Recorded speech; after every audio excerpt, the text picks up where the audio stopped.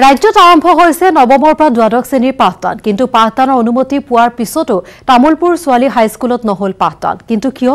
আহক চাওঁ।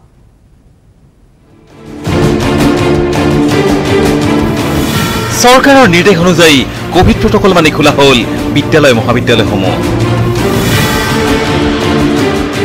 কিন্তু বাক্সা আৰু তামোলপুৰ ছোৱালী হাইস্কুলত নহল পাঠদান কাৰ্যসূচী।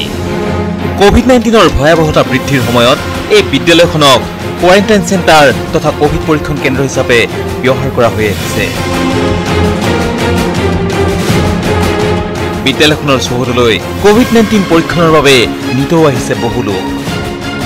বৰ্তমানেও বিদ্যালয় চৌহদত চলি আছে বহু শিক্ষক কৰ্মচাৰী আৰু সাধাৰণ লোকৰ ৰেপিড এণ্টিজেন টেষ্ট চৰকাৰৰ নিৰ্দেশনা অনুযায়ী বিদ্যালয়সমূহত পাঠদান আৰম্ভ হৈছে যদিও বিদ্যালয়খনৰ এনে পৰিৱেশ দেখি শংকাত ভুগিছে ছাত্ৰ ছাত্ৰী আৰু তেওঁলোকৰ অভিভাৱকসকল।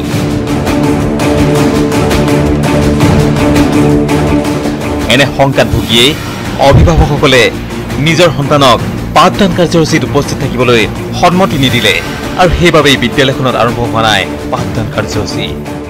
নিৰ্দেশমতে আমাৰ বিদ্যালয় ক্লাছৰুমবিলাক আমি হেৰি কৰি চেনিটাইজ কৰিছোঁ কিন্তু যিহেতু আমাৰ ইয়াতে এটা ক'ভিড টেষ্ট চেণ্টাৰ চলি আছে গতিকে সেই পৰিপ্ৰেক্ষিতত আমি ছাত্ৰ ছাত্ৰীখিনি ছাত্ৰ ছাত্ৰীখিনি আমাৰ আহি বিদ্যালয়লৈ আহিবলৈ অলপ অস্বীকাৰ কৰিছে অভিভাৱক আপত্তি কৰিছে বিদ্যালয়খনৰ পৰা কভিড সেৱা কেন্দ্ৰটো আন ঠাইলৈ স্থানান্তৰ কৰি বিদ্যালয়খনৰ ছাত্ৰ ছাত্ৰীসকলৰ পাঠদানৰ ব্যৱস্থা কৰি দিয়াৰ বাবে বিদ্যালয়ৰ প্ৰধান শিক্ষকগৰাকীয়ে বিভাগীয় কৰ্তৃপক্ষক অনুৰোধ জনাইছে এতিয়া যদি ক'ভিড টেষ্টিং চেণ্টাৰটো ইয়াৰ পৰা উঠাই দিয়ে তেতিয়াহ'লে আমাৰ ছাত্ৰ ছাত্ৰীখিনি বিদ্যালয়লৈ অহাত সুবিধা হয় আৰু এইটো মোৰ চৰকাৰৰ অনুৰোধ মুছলপুৰৰ পৰা Manohar Rajbongshi news eighteen Assam north east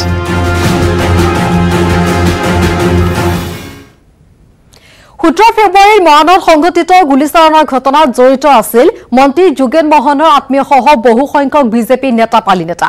সংবাদমেলযোগে অভিযোগ উত্থাপন কৰিছে আছু আৰু যুৱ ছাত্ৰ পৰিষদে। সোতৰ ছেপ্টেম্বৰত মৰাণত সংঘটিত গুলীচালনাৰ ঘটনাত জড়িত আছে। মন্ত্ৰী যোগেন মোহনৰ আত্মীয়সহ বহুসংখ্যক বিজেপি নেতা পালি নেতা। এই বিস্ফোৰক অভিযোগ আছু আৰু যুৱ ছাত্ৰ পৰিষদৰ। মামৰা সমষ্টিৰ সন্মানীয় বিধায়ক তথা অসম চৰকাৰৰ মন্ত্ৰী যোগেন মোহন ডাঙৰীয়াৰ সন্মানীয় সম্বন্ধীয় লোক সম্বন্ধীয় লোক সেই বিষয়টোৰ লগত জড়িত হৈ আছে। কিন্তু তেখেতসকলক তদন্তৰ আওতালৈ অনা নাই। কি কাৰণে তেওঁলোকক তদন্তৰ আওতালৈ অনা নাই? আমি শুনিবলৈ পাইছোঁ যে যোগেন মোহন ডাঙৰীয়াৰ বা মন্ত্ৰী ডাঙৰীয়াৰ সম্বন্ধীয় লোক থকাৰ বাবেই আৰক্ষীয়ে যেনেধৰণে তৎপৰতাৰে বিষয়টো আগবঢ়াই লৈ যাব লাগিছিল তেনেধৰণে লৈ গৈ যোৱা নাই। সোতৰ ছেপ্টেম্বৰৰ নিশা মৰাণত বিশ্বকৰ্মা পূজাৰ নৈশ পাৰ্টিত সংঘটিত হৈছিল গুলীচালনাৰ ঘটনা। গুলীচালনাৰ ঘটনাত জড়িত থকাৰ সন্দেহত মৰাণ থমছন তিনিআলিৰ বিজেপি কৰ্মী টিংকু গগৈ ওৰফে থাপাক গ্ৰেপ্তাৰ কৰিছে মৰাণহাট আৰক্ষীয়ে। পিছে আৰক্ষীৰ ভূমিকাত আসস্ত হ'ব পৰা নাই আছু আৰু যুৱ ছাত্ৰ পৰিষদ। আনহাতে নীতি বৰ্হিভূতভাৱে এচাম বিজেপিৰ নেতা পালি নেতাই মাৰণাস্ত্ৰৰ অনুজ্ঞা পত্ৰ লাভ কৰাত উদ্বিগ্ন হৈ পৰিছে সংগঠন দুটা। তেনেধৰণৰ গুপ্ত হত্যা মুক্ত হত্যা আকৌ এই বিজেপি আৰু এ জি পি নেতৃত্বাধীন চৰকাৰখনৰ দ্বাৰা কিন্তু আকৌ এনেধৰণৰ গুপ্ত হত্যা মুক্ত হ'ব হত্যা হ'বলৈ গৈ আছে। ছাত্ৰ সন্থা আৰু যুৱ ছাত্ৰ পৰিষদে আমি দাবী জনাইছো এই যে যিটো ঘটনা হ'ল সেইটো উচ্চ স্তৰীয় তদন্ত হ'ব লাগে আৰু যিসকল ব্যক্তিক অপ্ৰয়োজনীয়ভাৱে নীতি বহিৰ্ভূতভাৱে অনুজ্ঞাপত্ৰ দিলে সেই অনুজ্ঞাপত্ৰ তেখেতসকলে অতি শীঘ্ৰে বাতিল কৰিব লাগে। অন্যথা কিন্তু মামৰা সমষ্টিত মামৰা সমষ্টিত কিন্তু ফটকা দেৱালীত ফটকা ফুটাৰ দৰে কিন্তু বন্দুকৰ গুলি ফুটিবলৈ বেছি পোৱা নাই। মৰাণৰ পৰা Rishiswar Barua news Assam north east. উৰুষা পজাত বিশ বছৰ আকৰ্ষৰে জীৱন অতিবাহিত কৰিছে এগৰাকী বৃদ্ধই। দিন হাজিৰা কৰি জীৱন নিৰ্বাহ কৰা বৃদ্ধগৰাকীয়ে হাহাকাৰ কৰিছে এটুপি বিশুদ্ধ খোৱাপানীৰ বাবে। কিন্তু আজি পৰ্যন্ত কোনো চৰকাৰী আঁচনিয়ে ঢুকি নাপালে এই বৃদ্ধগৰাকী।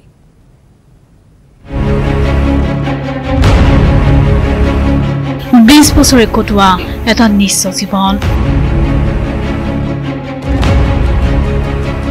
এই জুহি খহি যোৱা পজাটোতেই বিশ বছৰে অকলশৰে কটাইছে পঁয়ষষ্ঠি বছৰীয়া এইগৰাকী ব্যক্তি। পাঠশালা নগৰৰ ছয় নং ৱাৰ্ড নিবাসী প্ৰমোদ কাকুতি নামৰ ব্যক্তিজনৰ সম্পদ বুলিবলৈ কেৱল মাত্ৰ কেইখনমান বস্ত্ৰ দুটা এটা বাচন বৰ্তন আৰু বিচনাখন বুলিবলৈ আছে এখন বাঁহৰ চাং।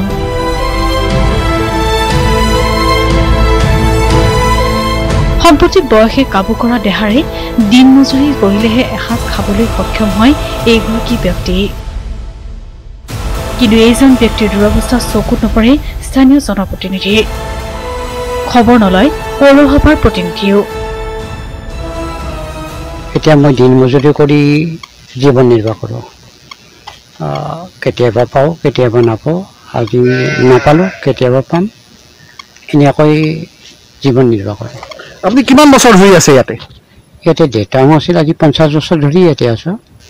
মোৰো বিছ বছৰমান হ'ল ইয়াতে। পাঠশালাৰ পৰা Dhrubajyoti Talukdar news eighteen Assam north east জামিন আবেদন খাৰিজ কৰা হৈছে ৰিয়া চক্ৰৱৰ্তীৰ। ছয় অক্টোবৰলৈ বৃদ্ধি কৰা হৈছে ন্যায়িক জিম্মাৰ দিন আজি ভিডিঅ' কনফাৰেন্সিঙৰ জৰিয়তে গ্ৰহণ কৰা হয় শুনানি আৰু এই শুনানিত এই সিদ্ধান্ত গ্ৰহণ কৰা হয়। ছয় অক্টোবৰলৈ বৃদ্ধি হৈছে ন্যায়িক জিম্মাৰ দিন জামিন আবেদন খাৰিজ কৰা হৈছে। কাৰাগাৰতে থাকিব লাগিব ছয় অক্টোবৰলৈ ৰিয়া চক্ৰৱৰ্তী। ড্ৰাগছ সৰবৰাহত জড়িত ৰিয়া চক্ৰৱৰ্তী পয়খলা জেলতে থাকিব লাগিব ৰিয়া চক্ৰৱৰ্তী ছয় অক্টোবৰলৈ পুনৰবাৰ জনাব বিচাৰিছো ৰিয়া চক্ৰৱৰ্তীৰ জামিন আবেদন খাৰিজ কৰা হৈছে ছয় অক্টোবৰলৈ বৃদ্ধি কৰা হৈছে ন্যায়িক জিম্মাৰ দিন আজি ভিডিঅ' কনফাৰেন্সিঙৰ জৰিয়তে গ্ৰহণ কৰা হৈছে এই শুনানি। কাৰাগাৰতে থাকিব লাগিব ৰিয়া চক্ৰৱৰ্তী।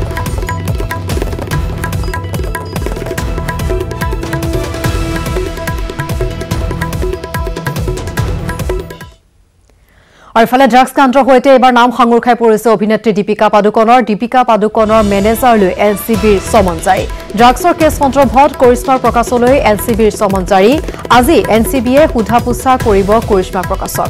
জয়া আৰু কৰিশ্মা প্ৰকাশক একেলগে সোধা পোছা কৰিব। সোমবাৰে জয়া চাহা আৰু শ্ৰুতি মোদীক একেলগে সোধা পোছা কৰিছিল আৰু এই সোধা পোছাৰ সময়তে জয়া চাহাই লৈছিল দীপিকা পাডুকনৰ নাম। শীঘ্ৰে দীপিকা পাডুকনক এন চি বিয়ে জাৰি কৰিব চমন। ডি আৰু কেৰ মাজত হৈছিল হোৱাটছএপ। কনভাৰ্চেশ্যন আৰু ইয়াত ডি হৈছে দীপিকা পাডুকন আৰু কে নামৰ অভিনেত্ৰীগৰাকী হৈছে নব্বৈ দশকৰ এগৰাকী বিখ্যাত অভিনেত্ৰী। ছাৰা আলী খান শ্ৰদ্ধা কাপুৰ ৰকুল প্ৰীতি আৰু চিমন খাম্বাটাকৈ এন চি বি অতি শীঘ্ৰে চমন জাৰি কৰিব। ড্ৰাগছৰ কেছ সন্দৰ্ভত এইসকল অভিনেত্ৰীক সোধা পোছা কৰা হ'ব।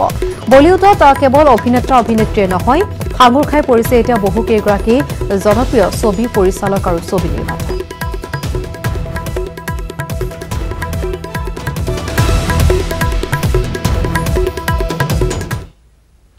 আৰু চিটি এইটিনত পুনৰ সময় হৈছে খণ্ড বিৰতিৰ উঠি আছো বিৰতিৰ পাছত। আৰম্ভ হৈছে যোৰহাটৰ নিৰ্বাচনী কেন্দ্ৰিক যুঁজৰ চৰ্চা। উজনি অসমৰ এই অভিজাত বিধানসভা সমষ্টিটোত বৰ্তমান চৰ্চা চলিছে তিনিজন গোস্বামীৰ। তিনি গোস্বামীৰ এজন গোস্বামীয়ে হ'ব যোৰহাট সমষ্টিৰ পৰৱৰ্তী বিধায়ক।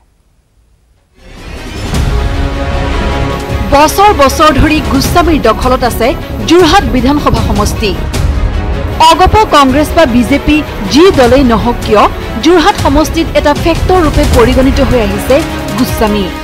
বৰ্তমানৰ বিধায়ক তথা বিধানসভাৰ অধ্যক্ষ হিতেন্দ্ৰ নাথ গোস্বামী দুটা কাৰ্যকালৰ প্ৰাক্তন বিধায়ক ৰাণা গোস্বামীৰ জনপ্ৰিয়তা যোৰহাট সমষ্টিত এতিয়াও বিদ্যমান। দুয়োগৰাকী অতি অভিজ্ঞ ৰাজনীতিক। শেহতীয়াকৈ AASU A J Y C পিৰ নতুন ৰাজনৈতিক দলটোত যোৰহাটৰ পৰা প্ৰাৰ্থিত্ব প্ৰদান কৰা হ'ব বুলি চৰ্চালৈ আহিছে জ্যেষ্ঠ অধিবক্তা ৰিণ্টু গোস্বামীৰ নাম।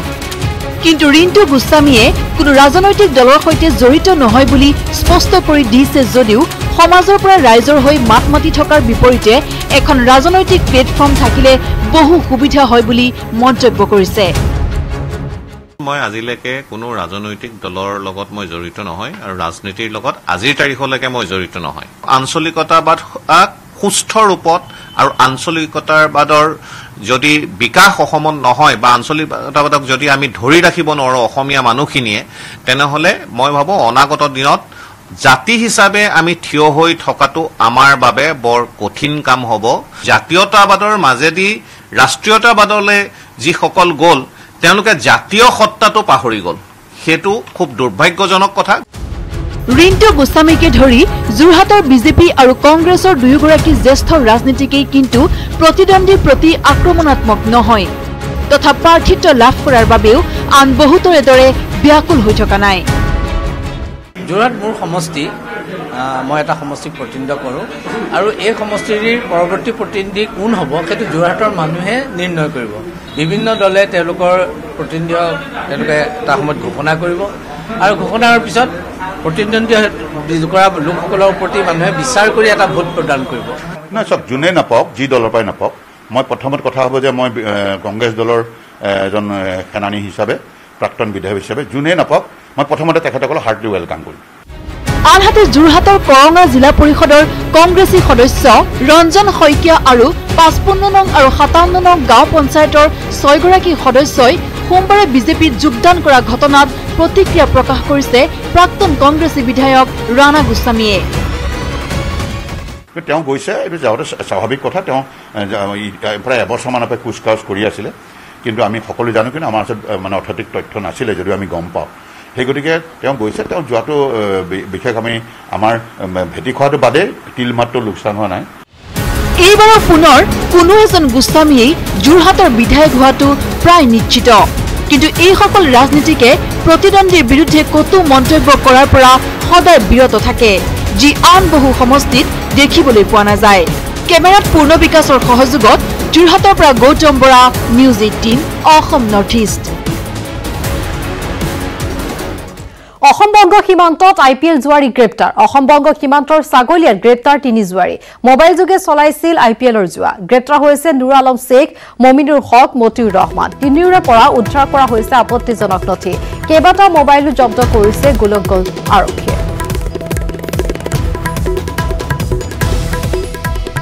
অসম বংগ সীমান্তত আই পি এল জুৱাৰী গ্ৰেপ্তাৰ কৰা হৈছে। অসম বংগ সীমান্তৰ ছাগলীয়াত গ্ৰেপ্তাৰ হৈছে তিনি জুৱাৰী। মোবাইল যোগে চলাইছিল আই পি এলৰ জোৱা।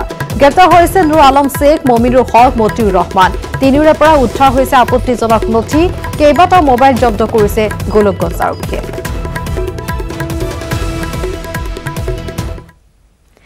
আঠাইছ আগষ্টত মহানগৰীৰ লালুংগাঁৱৰ গুপ্তা মাৰ্বলত সংঘটিত হোৱা চাঞ্চল্যকৰ গুলীচালনাৰ ঘটনাত জড়িত এজন লোকক গ্ৰেপ্তাৰ কৰে গড়চুক আৰক্ষীয়ে। থিত ডকাইতৰ মুখত অন কেমেৰা ডকাইতি কাণ্ডৰ চাঞ্চল্যকৰ ভাষ্য।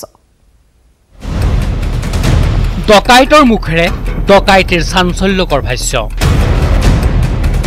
ডকাইতে স্বীকাৰ কৰিলে কেনেদৰে সংঘটিত কৰিছিল ডকাইতি? পোহৰলৈ আহিল আঠাইছ আগষ্টত মহানগৰীৰ লালুংগাঁৱত সংঘটিত হোৱা ডকাইতি তথা গুলীচালনাৰ সবিশেষ তথ্য। গড়চুক আৰক্ষীয়ে গ্ৰেপ্তাৰ কৰিলে ডকাইতিৰে জড়িত এজনক। জব্দ ডকাইতিত ব্যৱহৃত নীলা ৰঙৰ আইটেনখনো। আমি যোনটো গম পাইছিলোঁ এখন নীলা গাড়ী আহিছিল। কিন্তু গাড়ীখন কি হয় সেইটো গম পোৱা নাছিলোঁ। পিছত আমি দেখিলোঁ কি সেইখন নীলা গাড়ী সৈতে আমি তাক এৰেষ্ট কৰিছোঁ। সেইখন আই টেন গাড়ী হয়। গাড়ীখনো পাইছোঁ যোনখন ক্ৰাইম কৰিছে সি কনফেছো কৰিছে আৰু তাকো এৰেষ্ট কৰা গৈছে।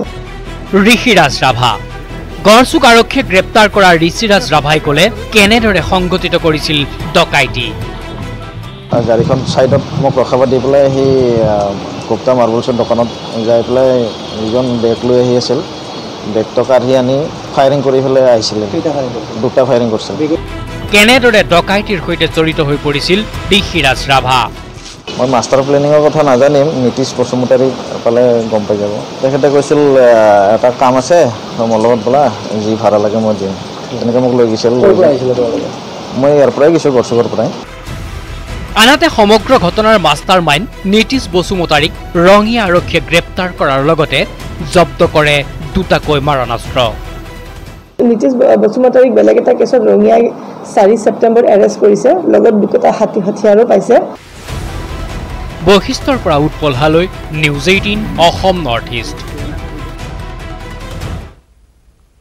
Nizamuddin আলীৰ হত্যাকাণ্ডত জড়িত দুই অভিযুক্তক গ্ৰেপ্তাৰ কৰা হৈছে। ধুবুৰী ধৰ্মশালাৰ পৰা গ্ৰেপ্তাৰ হৈছে দুই অভিযুক্ত।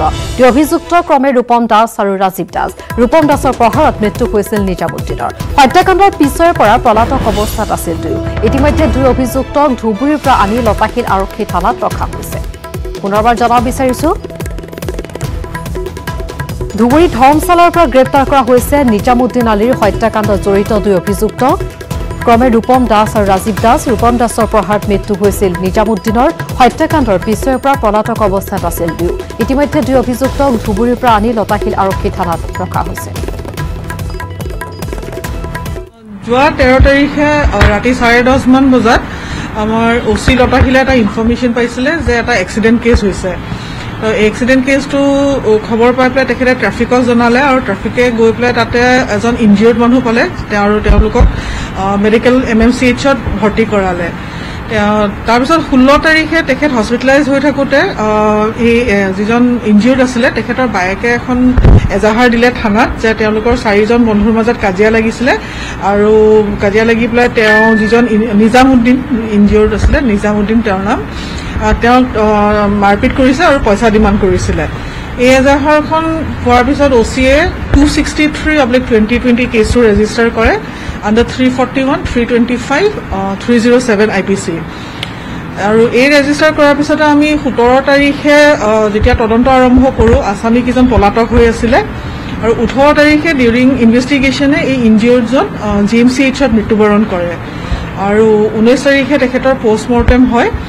ইনিমিনেম আমি তেওঁলোকক ট্ৰেচিং কৰি আছিলোঁ যিকেইজন এই ঘটনাটোত জড়িত হৈ আছিলে। ট্ৰেচিং কৰাৰ পিছত আমি যোৱাকালি তেওঁলোকৰ লোকেশ্যন ধুবুৰীত পালোঁ আৰু ধুবুৰী আৰক্ষীক আমি এই বিষয়ে অৱগত কৰোঁ। অৱগত তাতে ধুবুৰী আৰক্ষীৰ সহায়ত যোৱাকালি গৌৰীপুৰৰ থানাৰ আণ্ডাৰত তেখেতক দুজনক ৰূপম দাস আৰু ৰাজীৱ দাসক আটক কৰা হয়। চুৰীয়া চিমেণ্ট ব্যৱহাৰ কৰিলে ঘৰ পঞ্চাছ শতাংশ অধিক মজবুত হয়। আপোনাৰ ঘৰ অটুট হলে হ'ব অটুট অসম। চুৰীয়া চিমেণ্ট অটুট ঘৰ অটুট অসম।